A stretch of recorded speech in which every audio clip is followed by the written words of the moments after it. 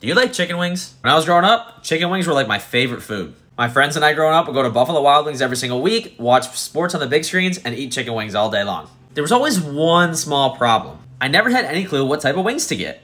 Buffalo Wild Wings has like 26, 27 different wing flavors, and every time I'd walk in there, I had no clue which one to choose. And most of the time, I'd make a very rushed, uninformed decision and be disappointed with the outcome. Now, why am I telling you this? Because this is what you're doing if you try to sell more than one product to your leads. Every time you add a new offer, new product, or new software to your product mix, you're confusing your audience more and more and more. If you keep doing this, your leads are gonna have no clue what to buy because you're just gonna keep confusing them over and over and over again. And oftentimes, they'll go to someone else that's selling just one product to their audience. Once I threw all the other products away and focused on one offer, I started making 10K per month in less than 90 days with my business. Adding more and more offers to your product mix is a surefire way to confuse your leads and drive them to somebody else. Comment wing down below if you wanna learn how to make 20K per month selling one product.